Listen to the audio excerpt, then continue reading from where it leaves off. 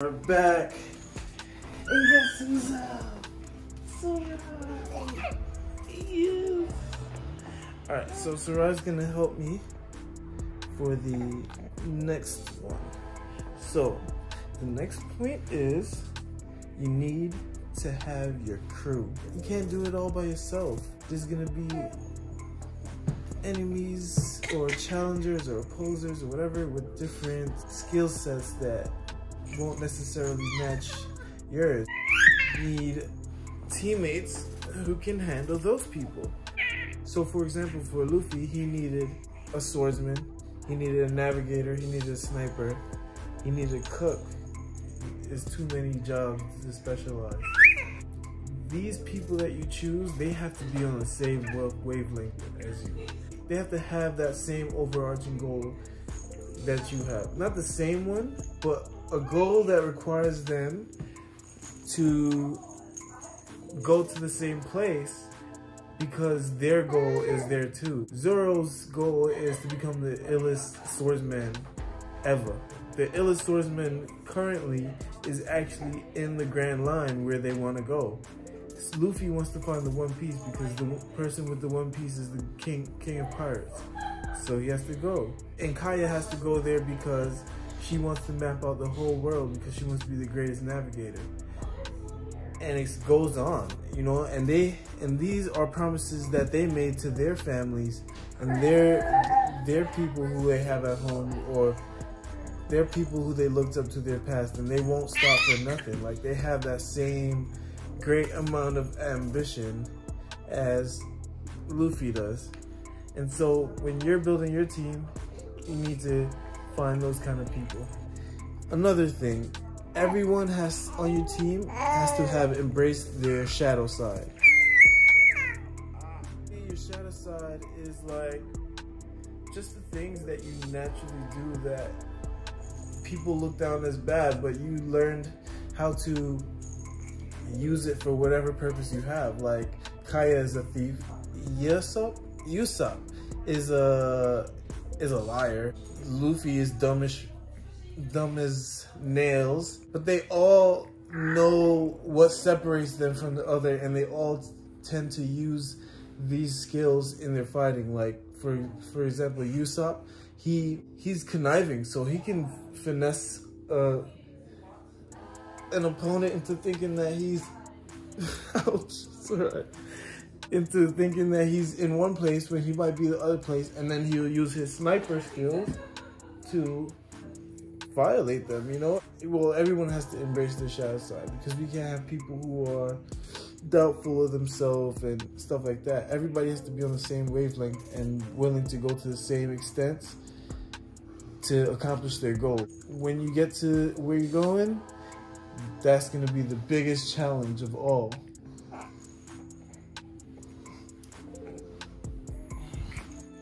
Do you think, Sarai? come on, baby girl. We're to go make a smoothie. Ah! All right, Sarai. You tucked in? You buckled in? All right, so the next point that I learned is never take no for an answer. There's always a good reason why the person who specifically you chose out doesn't want to come along for the journey, but that reason is not permanent. It's just something they have to do before they can agree to leave where they're at. My advice for that, from what I learned, is just to stick around until you figure out how you can help the situation and relieve them of their stress. It's really all about helping other, helping others and being sincere. Because if you can help them out, they'll respect you for being able to help them out. And two, it's one of their challenges that stops them from really accomplishing their main goals. If you can help them solve their problem, that show that really shows your your leadership ability, the ability to lead and come up with solutions for problems that might be larger than your own. For example, Kaya was from a village and she really, it seemed like she wanted, all she wanted was money. But she wanted money because her island, her whole island, was just being taken over by bad pirates, and they wouldn't, and they wanted a hundred million for the island. And even when she got the money, they got the government to run out there and take her bread, basically. He was like the ill, the strongest pirate that Luffy had even faced up to this point, and no one could beat him because he was just strong. Luffy was the guy to actually help her get out of that bind. You know what I mean? Like she would have never gotten out of there because he basically was disloyal to her. He promised this and denied her that. This is the case in many cases, even for Usopp. He, his whole city was about to be taken. No, his friend was about to be violated because she was rich by some undercover pirate. Luffy was able to handle that, and it's not necessarily about doing something to get something. It's really about, yo, I need you on my team, and I'm not taking no for an answer. And I'm gonna show you that I'm the captain. I'm the person that you needs to be on your team. I'm the person you need to be around to to reach greatness. So I would say when you're going out trying to get your crew, just make sure you don't take no for an answer. Once you've decided that this person needs to be on your team, this person needs to be on your team, regardless of anything. Whole time I was making a little smoothie.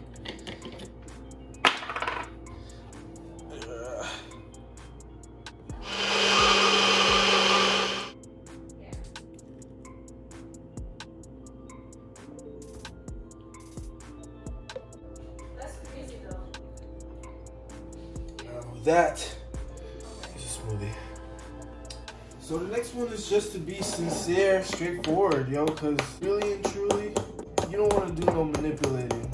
Even if your intentions are good, it makes people feel weird when they feel like they've been manipulated. Like, why would I even want to hang out with you? That's technically what your crew is going to be doing. Like, that's the people who you're going to be spending your time with all the time. If you start off by just manipulating them into on your team is not a good look. Well, not even only that, the people you pass by, just being honest, sincere, straightforward, those are the people who, in the end, are gonna be able to vouch for you. Like through it all, when everyone's talking down on your name, like the people who don't really know you, who never even met you, just talking shit based off off of the legend, the story that they heard the people who have met are the people who are to be able to say, yo, this person is actually a stand-up guy. If your track record is just straight up, I'm only been being positive, then they can't ever say you was on some other shit, really. But back to your crew, also, it's like from the moment you meet them and you decide, okay, you're gonna be on my team, it's it's like I'm not gonna try to finesse you into being on my team. I'm telling you, yo, you're gonna be on my team. You just wait, just watch. Time will tell. And you, and you do what you do. You stick around, see how you can help them. Definitely, by the end, they'll appreciate, they'll consider what it is you wanted them to do in the first place. Based off of your actions going forward and you having just been uh, honest and helpful and helping them out in their their troubles and not just being selfish about your own trouble.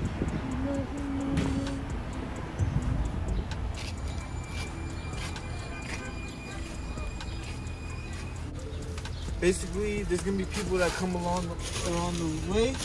They're friendly, but they're not essential to the you know to the group. They're not part of the core crew. Don't be pressed when they're ready to go about their business. They were never a part of the initial plan, so you can't you can't expect them to want to stay or have to stay. Don't get emotionally attached to people that just come around. You have to know who's the core people in your, in your crew. There was these brothers that knew Zoro and they were like, yo, we gotta get out of here because we can't be seen around pirates, XYZ, boom, boom, boom. Zoro was like, I got a mission to accomplish, you know what I mean? And I was like, wow, that's that's very important because oftentimes you're like, nah, you can't go, blah blah. Like, I need you to stay because it was so good having you. Even in my head watching the show, I'm like, ah, they were that cool. I wish they could stay. But at the same time, it's like we know who we need, and any more people, as much as it could help, it could also deter you from your actual mission. This be distractions a lot of the time when it comes to accomplishing the real goal, and it's just like, nah. I chose these people because they got heart, they got something to motivate, they got ambition, things that are really that I can see this going a long way for. And like if you down to stay, you can stay. Totally, totally with that. But if you gotta go, peace. And it's the people that hate you that's really that's gonna make you famous. They'll be talking about you, and then they have the firepower to bring you down, or they want to they want to make alliances with other people who want to bring you down. You just in letting the whole their whole network know like, yo, we got to take this man down. They're only gonna make you more popular. But you being more popular also makes you a bigger target than ever before. People are gonna be coming at you from left and right, trying to take you down. People you you never even met. People you that never even seen you. They only heard certain stuff about you. They gonna be wanting to take you down. So being wanted, now the whole world knows your name. But now the whole world's on your back. So once you get bigger, you just gotta be ready to be that target. And you gotta know that it's the challenges you face, the people that the people, the opponents that you face that's really gonna make your name ring louder than ever if that's what you want, regardless, regardless if you want it or not, that's gonna make your name ring. So you gotta be ready to be a target and have not only the strongest, but a high quantity of people on your on your body. The final and most important one to know is listen man, it's never gonna get easier. Every single challenge you face, the next one is gonna be the hardest one. And even though the next one is the hardest one, the one you're facing right now will test you to the depths of your limits, like to your fatigue be and to fatigue and you feel like you can't do anymore, but you have to dig deep down into your heart and really pull something out that you've never pulled before. But the great thing about this is that this is what's gonna make you reach the next level. One step stronger, one step closer to being reaching that overarching goal that you spoke of in the beginning. Oh, I feel like I've, I've experienced this when I'm like making a new song. Like I'll come up with a concept that I feel is way beyond my depths and it's harder for me to really complete than any other song before and I'll be stuck. I'll be sincerely stuck, but just having that just determination, that heart to just keep going regardless, knowing that you're gonna finish nonetheless, is what's gonna prepare me for the next challenge, which is gonna be harder than this one. But I know that as long as I'm challenged to my very depths, I will only get better. So it's just important to note that it's never gonna get easy. So take that out of your mind one time every time you, you're still gonna get that feeling like fuck i gotta do this do this again but when you finish you're always gonna get that satisfaction that's like yes i fucking finished it yes i knocked that shit out point one get your overarching theme get your overarching goal that you're gonna accomplish point two ignore them stories them shits is not useful point three if you don't have heart you might as well give up right now. Yeah, lesson four. You gotta affirm your goals repeatedly. Almost as much as you breathe, you gotta affirm your goals. Five, get yourself a crew that matches your frequency, that matches your heart, matches your determination. Point six, stay honest, stay straightforward, and stay sincere. Seven, never take no for an answer eight, Your hair doesn't make you popular, but popularity will make you a bigger target. Point actual eight. Don't hold on to people who's not actually part of the.